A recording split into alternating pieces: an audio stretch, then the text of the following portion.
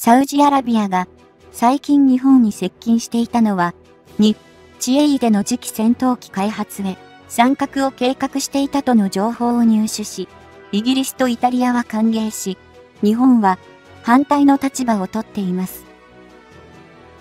今回は次期戦闘機共同開発にサウジ参戦で日本離脱化を深掘りしていきます。日本はアメリカの意向で参戦しなくなると感じます。やはり、X 通信芯と XF9 エンジンの量産型をすぐにでも開発するべきだよ。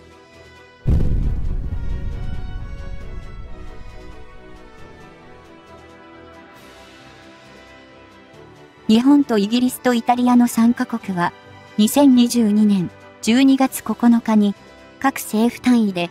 次期戦闘機の開発で合同で行うことを正式に発表。その名称も GCAP グローバルコンバットエアプログラムとすることが明かされた。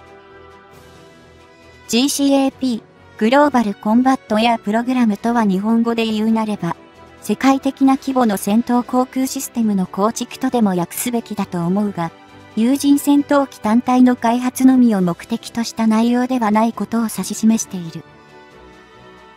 アメリカ空軍の次世代戦闘機開き計画も NGAD ニュージェネレーションエアドミナンスと呼称されており、こちらも新世代の航空優勢を目指すプロジェクトであることを意味しており、より広範な概念を施行していることが伺える。日本、イギリス、イタリアの GCAP、グローバルコンバットエアプログラムにせよ、アメリカの NGAT、ニュージェネレーションエアドミナンスにせよ、無人航空機を含む総合的な航空戦闘システムの構築を目指していると言えよ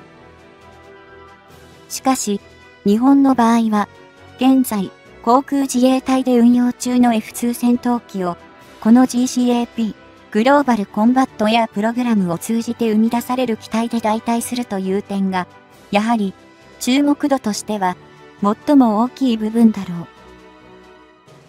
同様に、イギリスとイタリアは、現在運用中のユーロファイター台風を、この GCAP、グローバルコンバットエアプログラムを通じて生み出される機体で代替する方針であり、やはり、その点に重きが置かれている。ことに、日本が、今回、初めて、アメリカ以外の国と戦闘機開発を行う決断を下した背景には、2035年までに次世代戦闘機を収益させ、F2 戦闘機の退役を進めるというスケジュールの遵守が大きく影響していたとされる。この時期戦闘機の2035年という導入時期がイギリスのユーロファイター台風の退役の時期と一致したことが日本が GCAP グローバルコンバットエアプログラムへ参画した最大の理由とも見さされている。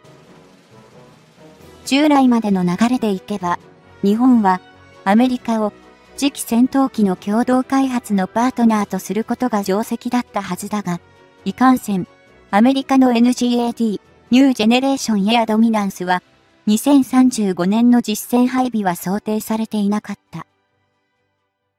ここに来て、アメリアの NGAD、ニュージェネレーションエアドミナンスも、ノースロップグラマン社が不利、ロッキード・マーチン社とボーイング社の一騎打ち地が濃厚となった模様だが、実戦配備の時期は明確ではない。また、アメリカ側も、日本が次世代戦闘機として調達を予定しているであろう。およそ90機ほどの数では、共同開発を対行うほどの商業的な利益の確保は乏しいと判断したとの見方もあり、経済的な側面からも実現が厳しかった点を指摘する声も多い。そんな状況下での日本、イギリス、イタリアの GCAP Global Combat Air Program のプロジェクトだが、ここに来て新たな国の参画の可能性が取り上げられる事態となり、にわかに注目を集めている。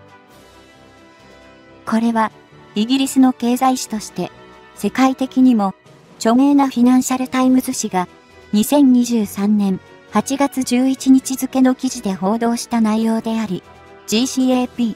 Global Combat Air Program に、新たに中東のサウジアラビアが参画する可能性を伝えたものだ。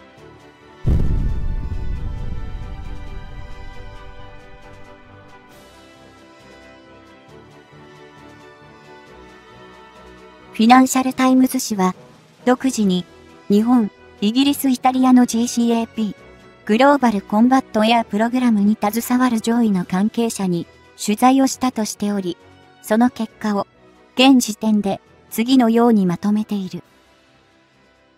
まず、イギリスとイタリアは、大筋で、サウジアラビアが GCAP、グローバルコンバットエアプログラムに新たに参画することを歓迎しており、中東の大国が、このプロジェクトに資金供与することを肯定的に評価しているという。引き換え日本は、サウジアラビアが GCAP、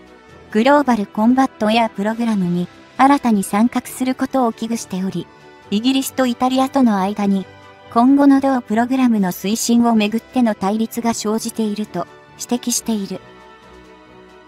日本がイギリスやイタリアと異なり、GCAP、グローバルコンバットエアプログラムへのサウジアラビアの新規参画に、後ろ向きな理由としては、同国が新たに加わることによって、開発等のスケジュールの遅延の可能性を懸念していると推察されている。前述したように、日本は老朽化の進む F2 戦闘機の代替機を必ず2035年には実戦配備するという意志が固く、今後サウジアラビアが参画することによって、要件定義等に齟齬が生じ、そのスケジュールを達成できない事態を回避したいのだろう。参画する国が新たに増加することで、従来の進め方に横やりが入り、その調整に時間を必要とする可能性は確かに起こりそうだが、個人的にはイギリスやイタリアは2035年を目途にした実戦配備が遅れることも厭わないのかが気になる点ではある。今回のフィナンシャル、タイム誌の報道だけを見れば、イギリスやイタリアは、潤沢なオイルマネーを持つサウジアラビア資金力に、大いなる期待を寄せているように感じられ、巨大なスポンサーとしての参画を、もろ手を挙げて歓迎しているように映る。そもそも、2023年の春先頃には、一時的にロイター等の世界的な大手のマスメディアの報道でも、GCAP、グローバルコンバットエアプログラムの資金分担が、日本、イギリス、イタリアで、4、4、2の比率となる可能性が伝えられたこともあった。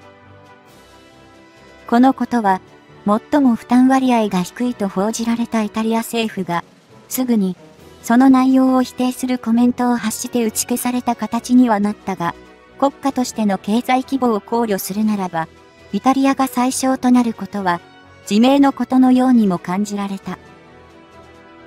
しかし、イタリアとしては、自国は、日本やイタリアと対等な GCAP、グローバルコンバットエアプログラムの参画国であるとのスタンスを示す必要が政治的にもあり、そうした報道を放置できなった印象を受けた。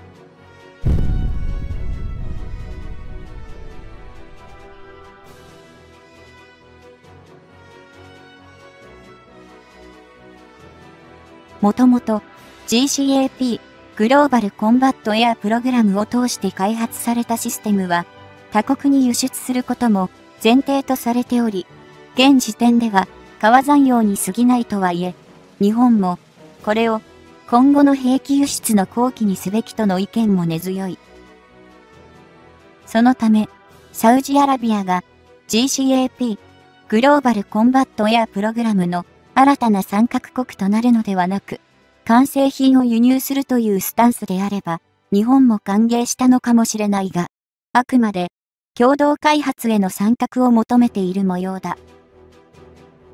そもそも、サウジアラビアは、ユーロファイター台風を、ヨーロッパ諸国以外で、初めて発注、導入した国でもあり、その機体数も、総数で72機と多く、イギリスやイタリアにとっては、同期からの関係も深い間柄である。このユーロファイター台風の導入に際しても、サウジアラビアは総数の72機のうち48機を自国内で最終組み立てを行うことを希望していたが、この希望は、叶わず完成した機体を納入することに落ち着いた経緯がある。サウジアラビア自体は、現在でも、世界で2番の原油の埋蔵量を持つとめされているが、今の潤沢なオイルマネーを利用して、単なる兵器の輸入国から脱却したい意向を進めたいとこは明白で、GCAP、グローバルコンバットエアプログラムへの参画を足がかりにしたいのだろう。アメリカ軍の駐留を認め、基地の設置も許可しているサウジアラビアは、政治的、軍事的にも西側諸国寄りの姿勢ではあるが、中国からの兵器購入も言っており、絶対王政を堅持する体制からは、中東ならではの危うさも漂う。